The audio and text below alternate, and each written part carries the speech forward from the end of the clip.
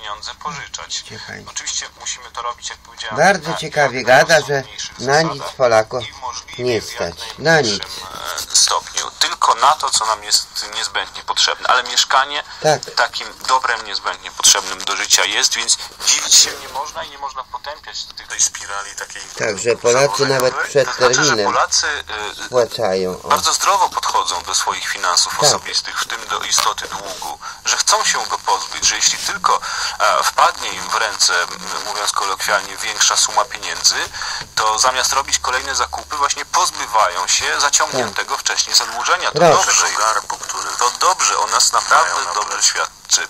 E, Zresztą ustawodawca, niedawno zmieniając e, ustawę o kredytach hipotecznych, zwrócił na to uwagę i zmniejszył choćby karencję, m, podczas której od udzielenia kredytu bank może pobierać specjalną opłatę za jego wcześniejszą spłatę w całości. Do tej pory takiej maksymalnej karencji nie było. Zwykle ona wynosiła 5 lat, czasem była dłuższa. Dziś, bo ta ustawa już w życie weszła, to są e, zaledwie 3 lata. Także to zjawisko zostało nawet w procesie legislacyjnym ostatnio zauważone. No tak, ale bankom e, no nie opłaca się, żeby ktoś wcześniej spłacił kredyt. No bo przecież nie będzie tych procentów, które trzeba naliczać każdego miesiąca, każdego roku. Z dwóch względów. Z jednego zasadniczego, o którym Pan właśnie powiedział, nie opłaca się bankom, żebyśmy spłacali swoje zadłużenie wcześniej.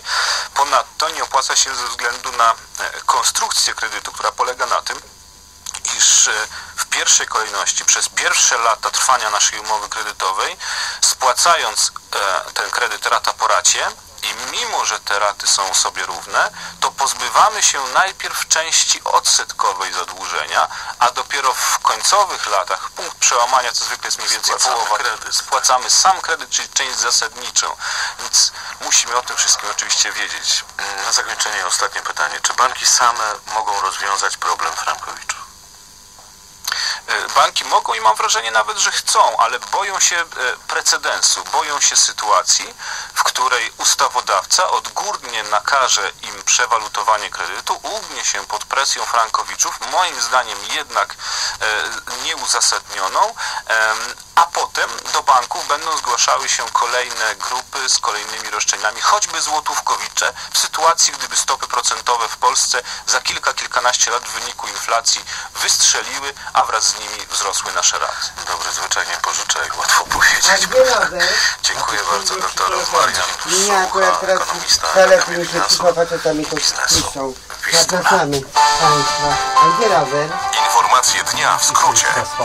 14.30 Ewa Worobiec, zapraszam. Minister No Obrony. Narodowej No Antoni tak, Macierewicz powiedział, że Ale Polacy pogoda, ja lubię taką pogodę, tylko że narodem, zimno ma być nie kolaborował ani z sowieckim, ani z niemieckim On to okupantem. w samo południe na placu to Piłsudskiego w to Warszawie odbyły się uroczystości upamiętniające to wiedział. 72. rocznicę Nie, tak na zakończenia II to wojny tak. światowej. To minus Powiedział, że. Polacy mieli nadzieję, iż zakończenie wojny będzie dniem zwycięstwa. Nikt nic nie Jednak mówił, się było inaczej. Nie przyznaje się do niczego. polska była inna, Jest ale bardzo skruszony i- i przyznaje się do- do winy. zsyłki do łagrów, więzienia, gwałty. Podczas uroczystości tak. szef MON złożył również kwiaty przy grobie nieznanego żołnierza. Etiopia poprze Polskę w staraniach o członkostwo w Radzie Bezpieczeństwa ONZ, poinformował o tym prezydent tego kraju, Mulatu Teszome, po spotkaniu z Tutaj bardzo dużo pracowników jest, tak. I tutaj był teraz Polskie jedzą, ale i tutaj grupa, i tu grupa, i tam grupa. Chodźcie tam po tamtej drugiej stronie, bo ja myślę, że niedługo będą kradzieże. Ale tych drutów, co tam leżą, tam, tam woda jest. Ja tam chodzę przy niedzieli, bardzo lubię chodzić tam pod płotem, podsłuchuję co oni tam gadają. Przed fajrantem tak samo. A czemu przed tym? No bo oni przed fajrantem będą kradli. Robotnicy. A słuchaj, ja ci coś powiem, tu trzeba z nimi porządek zrobić, bo oni tu zostają w tych budach i pieprzą tam głupoty. Tu radio wiesz zostawił trzy dni temu włączone. Jakie głupoty pierdolą? No, że idę proszę ciebie i słyszę, że, że jest w budzie. Ale idę po wyłączeniu radia, które tutaj było na pierwszym piętrze. Ja myślę, tak głośno gra, że zaraz coś z bloku przyleci. A całą noc to niemożliwe. Nie, muszę wyłączyć. I potem idę, a tam wystąpienie ale poszli. No zostają dość długo w tych Będzie. MSZ O której, o której wy, wy, wyszli z tej budy? No już ciemno było, wiesz, ciemno. Tam jest ich szatnia, tak? Tych, Tak, tych- niebieskich, wiesz? O tam, niebieskich. Oni tam, wiesz, siedzą i wiesz, netto do 10 myślą, że tutaj radio włączą, to odwrócą uwagę, bo, bo ktoś to głuchy. Przecież ja radio wyłączam I gdzie to radio pracuje? Tu w tym? Na budowie? na budowie jest na pierwszym piętrze, tam gdzie to czerwone, ciut niżej, czyli na pierwszym mie- Ja to radio mi się wyłączyło z sieci, po prostu tam kręcę, patrzę nie tego, jakiś stary. No i nic, i, i przestało grać. No to takie rozdzielki, podłączę. Ale wyłącz tak, zawsze to radio. co? Zawsze wyłącz to radio, dobra? Nie no, nie, po to tylko raz było, to tylko oni tego nie... Wiesz, bo oni jak pracują, to sobie robią muzykę, ja rozumiem. No tak. A tam wróć do mnie jakieś takie stare te... Ja myślę, co za muzyka, Boże. Zapory i zastawki, które zapobiegły Bo zobaczysz, niedługo będzie kradzież jakaś. Tak, tak, tak. Musisz tam ten. A proszę Ciebie, ten, ten nasz, co on tak zostaje po pracy, to tu trzy dni przyszedł do mnie, pokazał torbę, że on ma pustą torbę i on, i on nic nie ma, że on nic nie zabił, tak taki wiesz. Taki bardzo uczciwy. To mi się też nie podoba. Nie, to on, on z nimi nie ma nic wspólnego, bo on przychodzi jakby później i on po prostu nie lubi tego tłumku, rozumiesz? No. A ja mówię, pani, co pan tutaj do tej torby włoży? Cegłę? I tak większa ta cegła jak ta torba. Nie, to kupa śmieci. A Rysio mówił, że tak, chodzi tam na górę yy, do tego i tam sobie on się mówi, że prześpi. Nie, tak piątej rano. No pewnie jak ma gdzie jechać, wiesz, ale to wyjątek. Ale męty niech jadą. Tu z Saskiej Kępy dojeżdża ojciec pięknym synem, proszę ciebie. A taki ładny ten chłopak. Kurwa, tobie się coś faceci podobają, ja widzę. Ale słuchaj, on taki jest, że jak tu idzie, to jakiś tak, jak jakiś taka, taka niezdara, wiesz, taki, tu się tego, tu się kiwa, tam. e, z Ale z Ukrainy, no wiesz, E, biedni ludzie Komentatorzy podkreślają, że to zwycięstwo Macrona to jest z jednej strony zwycięstwo... Dobrze tam w e, tej Francji będzie, czy niedobrze? Mówiła tu znawczyni, No że... dobrze. takiej determinacji politycznej, tylko e, na pokaz, tak, politycznej, wiesz, specjalnie. że on ten swój ruchą marsz, czyli naprzód, Że to jest e, polityczna gra, że tego. Macrona to wybrali, a on- chyba do końca jak nie wierzył ta w to, że on Clinton też tego, powiedziała, że Polskę poda stan oskarżenia, bo Żydom zabrali majątek. Ja mówię, bardzo dobrze. Po roku okazało się, Będzie dla nas więcej. A ty jesteś tam wtedy mi wysłałeś zaproszenie na fejsie? Gdzie? Nie, na fejsie nie. A ty masz fejsa, nie? Ja mam. Ale takie czarne zdjęcie, nie? Czarne? Jakie, przewidywalna. Ty, no ja nie wiem, bo nie, patrzyłem, ale... Bo mi Mareczek ze mnie miał zrobił. No to- a dlaczego? Fillon Nie, to nie ja, to nie, to ja ci afery ze pokażę swoją to żoną, że Ty, ale został dlaczego? zdeklasowany tak naprawdę kandydat Nie, nie. Przecież nie mamy wspólnych względu, znajomych, to nie e, mogło. Musieli sami zaproszenie wysłać. też Nie, to- to- to, to- nie to, ja ci pokażę, to e, pięć lat bardzo źle się zobaczysz. zapisała w umysłach Francuzów, że jest. François Hollande zdecydował się nie kandydować. No, Nie, nie ostatniej ma. prostej kampanii nie e, głównie tak to, że. Marine Wyszła w całe. e, Ja to ta myślałam się, że e, może gdzieś sama mogła przeskoczyć, ale to niej jak się nie wysyła, to nie- nie powinno, ale w technice e, różne rzeczy, wiesz. Mają 40% miejsce. e, głosów. Później znowu w sondażach spadła. Jak ja lubię taką pogodę, tylko e, zimno, żeby nie było. Nie masz, kurwa, widzę za e, dużo roboty zgodnie, macie. e, Można tu imię, imienia Narodowego, No mogę, patrz, tu nie jest ale- No. prezydenckim, znaczy Jest, nie jest piszę. taką osobą, która Ale wiesz, swoją retoryką e, nazwisko mogła być prezydentem Francji, po prostu tym do siebie bo Wiesław to i Gomułka, zniechęciła, a nie, to Władysław. mm, wy- wydaje mi się, Gomułka był towarzysz Wiesław. Ale też poczekaj, on był Władysław, ale on był i Wiesław i jak to było? Wiesław miał się aha, pseudonim, ja to się tak znam, to mnie to nie interesuje, ale e, słabe. tam nie masz? wybory Nie, parlamentarne, no i Coś one ty, będą również konieczne szkoda e, forsy. dla, e, dla, pierdoli, dla prezydenta, że żeby mógł realizować te wszystkie reformy i obietnice, które złożył. Nie, Rysiek nic. Deklaracji było Tylko bardzo wiele o Lewartowski. zmniejszeniu bezrobocia, o Coś- poprawie bezpieczeństwa. tak, ale nie, to wtedy, e, pierwszym o, razem. O poprawie na ja bardzo, wolałem, bardzo no. różnych jakby obszarach życia społecznego e, No, mnie Francuzów. też. Życia ja to z wami mam. takim No. Jak nie politycznego. Szkoda Cioty, kurwa. ale muszę cię pocieszyć, Co że wódka pijaki? wcale nie jest droga nawet, bez, wiesz? e, bez To większości 17 zł parlamentarnej można Tak, nie to jest w stanie się- wiele a to zrobić, jeszcze więc, taniej, e, bo to e, 19 No ale to no co to nie jest? parkowe. Ale po co? To, to, to te nie lepsze wino smaczniejsze, ale też tylko na wernisażach że przy jest sztuce, rzeczywiście przy szansa na obrazie, to, przy że, uzyska e, A gdzie obraz? Tych A gdzie ten obraz? wiele, ale te, które się pojawiły jeszcze przed, e, Aha, na- na przed tych- wyborami prezydenckimi wskazywały, Aha, że e, rozumiem. tak, że Francuzi No. mogą zagłosować na ma ruchu Rysiek, marsz, tak? tylko Tak, tak, on przychodzi do e, przecież jego zaletą, a zarazem wadą On tu jest to, że jest mokro, wiesz, a on już to e, chce rządzić. Ja mówię, zaraz, zaraz, ale Wartowski tak nie wyjdzie. Jak ja dzisiaj pół do siódmej, to on gada, gada, opowiada i wyszedł za trzy e, jakby przez, taki, przez taką formę castingu Nie wyjdzie, zgłaszają bo się do tego ruchu i chcą z niego, z niego kandydować, ale 15 często ludzie bez jego nie ma. No i ale jeśli się mówi, coś tu jest tak zmiennik, o co chodzi?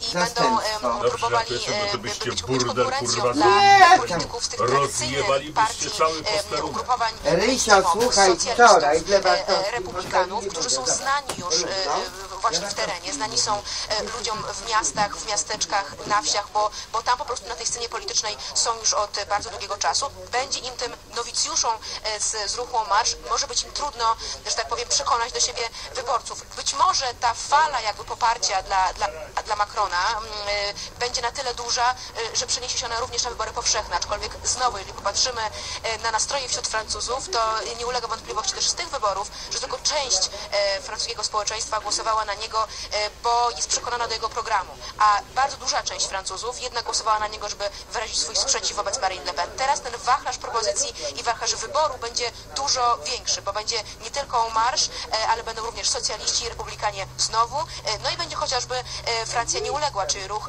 Jean-Luc'a Mélenchona, który był wielkim przegranym w pierwszej turze, ale który uzyskał bardzo dobry, bardzo dobry wynik. Bardzo dziękujemy za relację. Prosto z Paryża Magdalena Skajewska, nasza specjalna wysłanniczka właśnie na te wybory prezydenckie. A w naszym studiu e, pani doktor Agnieszka Cianciara, politolog, Instytut Studiów Politycznych Polskiej Akademii Nauk. Dzień dobry, witamy. Dzień dobry. Dlaczego nas tak bardzo interesują te wybory prezydenckie we Francji? No, padło kilka słów o Polsce, nie najlepszych.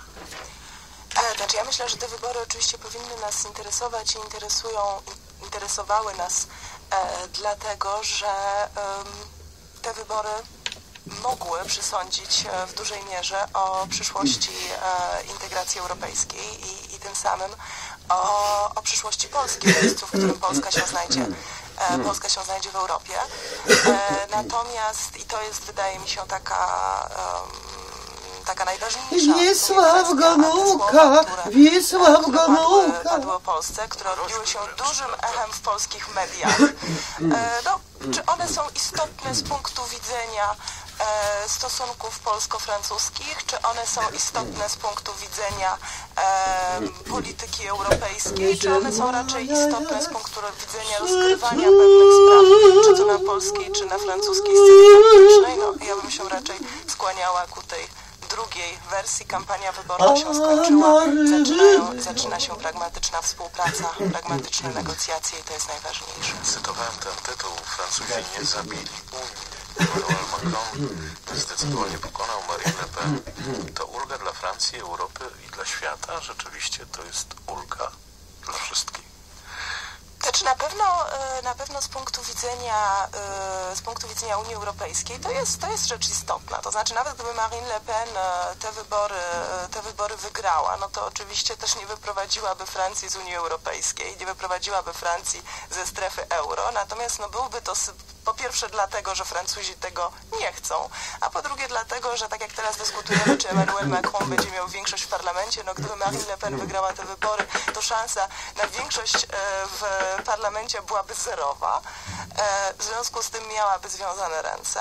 Natomiast no, byłby to e, jakby szalenie istotny sygnał co do tego, że drugie największe i najsilniejsze państwo w Unii Europejskiej, no, jego obywatele, większość jego obywateli, no, w fundamentalny sposób się nie zgadza na to, e, w jaki sposób funkcjonuje Unia Europejska. No, taki sygnał w sensie symbolicznym e, wysłany, wysłany nie został, więc, e, więc jest to niewątpliwie uspokajające z punktu, z punktu widzenia e, elit unijnych, elit państw członkowskich, ale też dużej, dużej części opinii publicznej w Europie. To proszę powiedzieć, jak Polska powinna w tej chwili, jak my powinniśmy ułożyć sobie stosunki z nowym prezydentem, e, z nową Francją. No jeszcze trzeba poczekać na wybory parlamentarne, no ale już teraz wiemy bardzo dużo.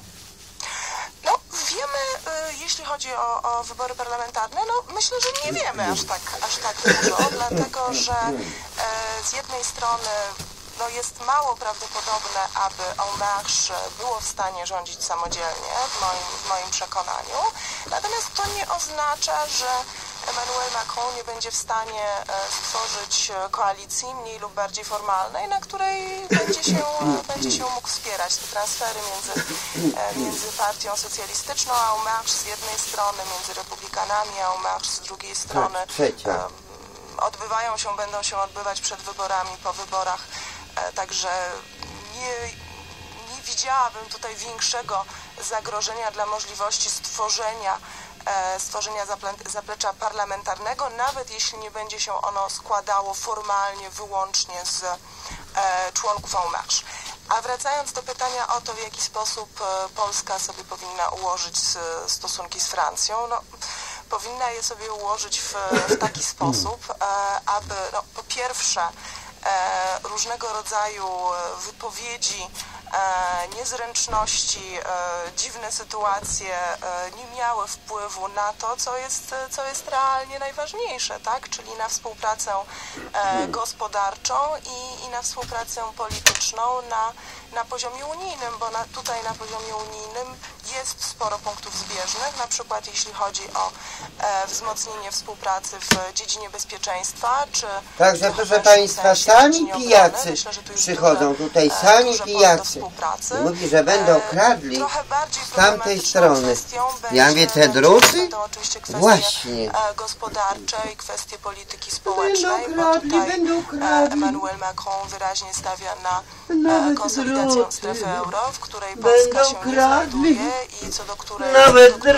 w e, przewidywalnej przyszłości e, przystąpić nie zamierza.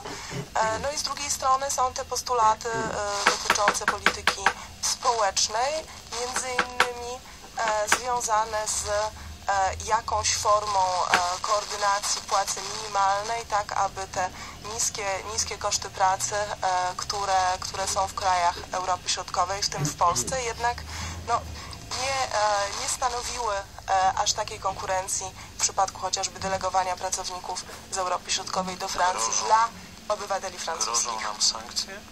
Tak jak Macron mówił e, w trakcie tej kampanii mm, wyborczej? E, Czy to znaczy, pozwoli sobie, żeby no, Polska łamała zasady unijne? No, że powinno być no, porówno właściwie. I żeby e, przemysł francuski nie przenosił swojej produkcji do Polski. To znaczy, ja myślę, że trzeba rozróżnić, rozróżnić dwie rzeczy, dlatego że e, z jednej strony Emmanuel Macron mówił o tym, że problemem jest fakt, e, iż polscy pracownicy e, we Francji otrzymują dużo niższe pensje i to jest ten problem tego dumpingu, e, dumpingu socjalnego. Natomiast e, kwestia sankcji związana jest raczej z e, postrzeganiem polityki polskiego rządu jako nierespektującego nie, podstawowych e, zasad e, demokratycznych e, i rządów prawa. No ta druga kwestia odnosi nas do trwającego od miesięcy e, sporu z Komisją Europejską i ewentualnych możliwości e, sankcji e, w, tym, w tym zakresie, natomiast no, one wymagają większości e, przepraszam, nie wymagają większości, ale wymagają jednomyślności. E, takiej jednomyślności e, nie będzie ze względu na, na sprzeciw Węgier. E, także w jakim stopniu Emmanuel Macron na pewno będzie e, chciał em, na poziomie, na poziomie politycznym jednak e, wywierać pewien nacisk w tym sensie, żeby, e, żeby jednak e, tę obietnicę spełnić. Natomiast no, sankcji prawnych w ramach mechanizmów istniejących w Unii Europejskiej spodziewać się nie powinniśmy, bo nie możemy ze względu na to, jak, jak te mechanizmy prawne w obecnej chwili wyglądają. Czy wraca sprawa Trójkąta Weimarskiego, czyli Polska, Francja, Niemcy? Bo to, to trochę zaniedbany temat, e, żeby nie powiedzieć zupełnie zaniedbany temat. Znaczy on wrócił ze strony polskiej oczywiście. No to jest taki tak naprawdę jedyny zinstytucjonalizowany format e, współpracy, współpracy z Francją poza stosunkami bilateralnymi czy poza stosunkami wielostronnymi na poziomie unijnym. Więc siłą rzeczy w momencie, kiedy mówimy o Francji, to zawsze wraca trójkąt weimarski. E, No, ja osobiście jestem sceptyczna, dlatego że ten format e, jako taki e, nigdy nie był wypełniony specjalną, specjalną treścią. Widzimy w tym momencie e, zarówno po tych deklaracjach jeszcze kandydata Macrona, jak i, e, jak i po pierwszych, pierwszych gestach czy telefonach, e, że raczej Macron stawia na, na alians ten tradycyjny e, niemiecko, niemiecko-francuski. E, Pojedzie z pierwszą wizytą do To Berlina. jest znaczy to, to, to, znaczy to nie jest nic Tak, dziwnego, tak? tak. Znaczy, gdyby pojechał z pierwszą wizytą do. Warszawy, to, to byłoby 500, naprawdę 300 to jest duże zaskoczenie. 800, To jest 900. oczywiste, że ten alians francusko-niemiecki e, no, jest, będzie, będzie podstawą e, polityki Emmanuela Macrona, natomiast Nawet oczywiście nie było, e, no, to- nie, będzie, nie będzie jedyną formułą. No i teraz pytanie, pamiętamy kilka, kilkanaście tygodni temu słynne, słynne spotkanie w We- w Wersalu animowane przez ustępującego prezydenta François Hollande'a. No, to było spotkanie czterech największych państw Unii Europejskiej. E, no, Wielką, Wielka Brytania wychodzi, więc, więc tutaj jej nie wliczamy, czyli para francusko-niemiecka oraz e, Hiszpania i, Wło i Włochy. E, no, Polska się tam nie znalazła, więc trójkąt weimarski jakby tutaj specjalnie nie, nie zagrał. No i obawiam się, że nie zagra, natomiast pytanie jest na ile rząd polski widzi e, szansę i potrzebę tego, aby jednak zagrać o to, e, by, by znaleźć się w tej grupie już teraz tylko pięciu, kiedyś sześciu e, największych państw Unii Europejskiej. Pada takie hasło bardzo często. Mm, Europa dwóch prędkości. Że my, mocniejsi, będziemy razem ze sobą, a reszta to niech tak sobie siedzi na. Trzeba imię wpisać. Elżbieta. Eleonora. Eleonore w porę. Elizabeth. Po Elizabeth. pierwsze, Europa dwóch prędkości e, to jest, to jest rzeczywistość. To nie jest przyszłość ani Tak, ale zagrożenie, to jest rzeczywistość. dopłatę z Unii, bo to przecież e, dla nas, dla nie wiem, rolników, e, małych przedsiębiorców i tak dalej, dla wszystkich. To jest ogromny zastrzyk gotówki. Zresztą widzimy, co ta gotówka z Unii Europejskiej dała Polsce przez te lata e, naszego członkostwa. No, niektórzy widzą, niektórzy nie. E, natomiast to co, jest, to, co jest rzeczywiście istotne, to to, że no, z, dwie- z dwiema prędkościami mamy do czynienia, o tyle, że y, no, strefa, do strefy euro nie należą wszyscy, wszyscy członkowie Unii Europejskiej i tak naprawdę od, momen- od 2004 roku, kiedy, e, kiedy 10 krajów przystąpiło do, do Unii Europejskiej, te, te dwie prędkości chociażby pod kątem strefy euro były bardzo, bardzo dobrze widoczne, prawda? E, Natomiast e, wyzwanie, przed którym st- stoimy aktualnie jest takie, że strefa euro e, od, e, od tak naprawdę 2012 roku, od e, podpisania paktu fiskalnego, to w dosyć istotny sposób się emancypuje i, i konsoliduje, tak? I z jednej strony kolejne kraje do tej strefy euro przystępowały, również kraje naszego, naszego regionu.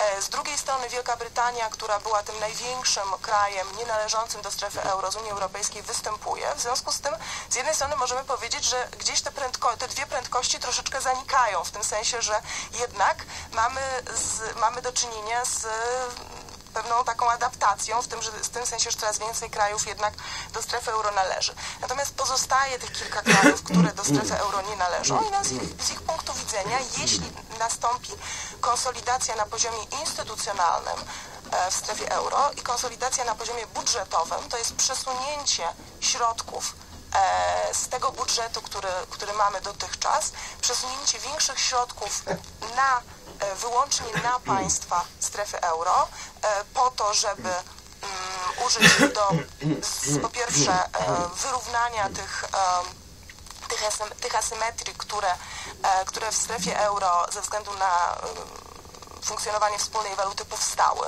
na przykład, no to to oczywiście stawia pod znakiem zapytania e, pytanie o, znaczy kwestię dalszych transferów budżetowych w takiej wysokości, jak miało to miejsce dotychczas na rzecz Polski i innych, innych krajów spoza, spoza strefy euro. I ten proces, ten proces istnieje e, i fakt wyboru Emmanuela Macrona myślę, że tego procesu jakoś specjalnie nie przyspieszy ani nie zdynamizuje. e, Bo on po prostu wpisuje się e, w pewien, w pewien trend. Zresztą pomysły francuskie, na, o czym zresztą do czego pan nawiązywał, na różnego rodzaju zróżnicowanie są, są, bardzo, są bardzo stare, tak? Zaczynając jeszcze od Czy od ona, ta baba, e, wierzyła w Jezusa? Tak związane Czy ona e, wierzyła w Jezusa? było dyskutowane od, e, od, początku, od początku lat e, 90. Czy Także ona, ta baba, wierzyła w Jezusa? nie jest jednoznaczny. Oczywiście wiele, wiele e, Jezusa. Przez przystąpienie do Natomiast nawet jeśli Polska e, będzie obstawać przy, przy pozostawaniu poza strefą euro, no to istnieje jeszcze pewne spektrum negocjacyjne co do tego, jak te rozwiązania konsolidujące strefę euro będą miały wpływ na te państwa, które pozostaną e, poza nią i czy Polska, pozostając poza strefą euro, nie będzie chciała do pewnych mechanizmów przystąpić. Teraz e, większość e, znawców tematu mówi, że wszystko zależy od tego, co stanie się jesienią w Niemczech, no bo wtedy po tych wyborach niemieckich będziemy mogli rozmawiać spokojnie o Unii Europejskiej. Spokojnie albo niespokojnie, ale wtedy e, No, zawsze są jakieś wybory. E, potem będą wybory we Włoszech. To też będzie paradoksalnie istotne. Natomiast rzeczywiście jest tak, że te wybory we Francji i w Niemczech e, no, budzą, budzą największe emocje. Natomiast w przeciwieństwie do tych e, wyborów, do tych francuskich wyborów prezydenckich, jednak myślę, że na wybory niemieckie możemy patrzeć, e, patrzeć z, większym, e, z większym spokojem. Nie widać e, znaczących perturbacji na, na niemieckiej scenie politycznej. E, W ostatnim czasie poparcie dla, dla alternatywy dla Niemiec e, nie rośnie, a nawet spada. to jest E, Martin Schulz, SPD i podobno Macronowi bardzo blisko do tego polityka. E, Myślę, że to są, myślę, że to są spekulacje. No. Natomiast pytanie, pytanie oczywiście ostatecznie, kto będzie rządził w, w Niemczech, jak będzie wyglądać koalicja. Po tych pierwotnych wzrostach, e, jeśli chodzi o SPD, bezpośrednio po tym, jak, jak e, Martin Schulz e, objął, objął przywództwo, teraz mamy jednak spadki. CDU znowu jest na prowadzeniu. Mieliśmy wybory regionalne w Szlezwigu-Holsztynie, gdzie, gdzie dosyć dobrze to, to wyglądało. Także czwarta, czwarta kadencja Angeli Merkel na stanowisku kanclerza nie jest, nie jest wykluczona. No, nie wiemy tylko, jak będzie wyglądać koalicja, bo być może będzie to wielka koalicja, być może będzie w zależności od tego, jak te mniejsze partie, czyli przede wszystkim Zieloni i Liberałowie, ale również e, Die Linke e, sobie poradzą, no to tutaj będą ewentualnie możliwości koalicyjne. Natomiast generalnie to, to w fundamentalny sposób e, niemieckiej, niemieckiej polityki, jak sądzę, nie zmieni. Jeśli oczywiście na czele rządu pozostanie Angela Merkel, jeśli na czele e, rządu stanąłby, e, stanąłby Martin Schulz, no to myślę, że na takim poziomie retorycznym e, być może stosunki niemiecko, niemiecko-polskie byłyby troszeczkę mniej sympatyczne, natomiast na poziomie realnej, realnej polityki myślę, że to ma nieco mniejsze znaczenie. Czyli pożyjemy, zobaczymy. Bardzo dziękuję. Doktor Agnieszka Cięciara, politolog, Instytut Studiów Politycznych Polskiej Akademii Nauk. Dziękuję bardzo. Reklama. Teraz MediaMarkt. Zagłośnik Power Audio Sony MHTV77 o dużej mocy z Bluetooth, Wi-Fi i podświetleniem diodami LED. Zapłacisz jedynie 2499 zł, oszczędzając 300 zł. Mediamarkt.pl Red Blocker? Pewnie, że znam. Genialny. Mam wrażliwą skórę, a ona potrzebuje delikatnej, lecz specjalistycznej opieki. Krem na dzień Red Blocker łagodzi podrażnienia, a zielony pigment kryjący natychmiast maskuje zaczerwienienia. Ja mam skórę naczynkową i też używam kremu na dzień Red Blocker. Wzmacnia naczynka i zapobiega ich pękaniu. Świetnie nawilża. Działa przeciwzmarszczkowo i ma filtr przeciwsłoneczny. O tak! Nigdy go nie zamienię. Red Blocker z myślą o skórze wrażliwej I naczynkowej. dostępny w aptekach. Jak zyskać 100 zł. Robić zakupy w Stokrotce. Zrób zakupy za 25 zł, odbierz kupony i oszczędź stówkę. Tak, 100 zł. A teraz idealny na kanapki z Hub Dębski. Tylko 14,90 za kilogram. Stokrotka. Zakupy jak składka. Co dzisiaj na kolację? Coś z serem?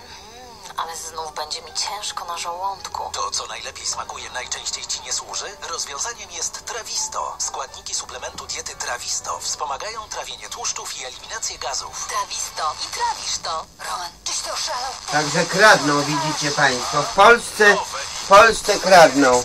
Ukradnie, przepije i potem trawisto. Trawisto.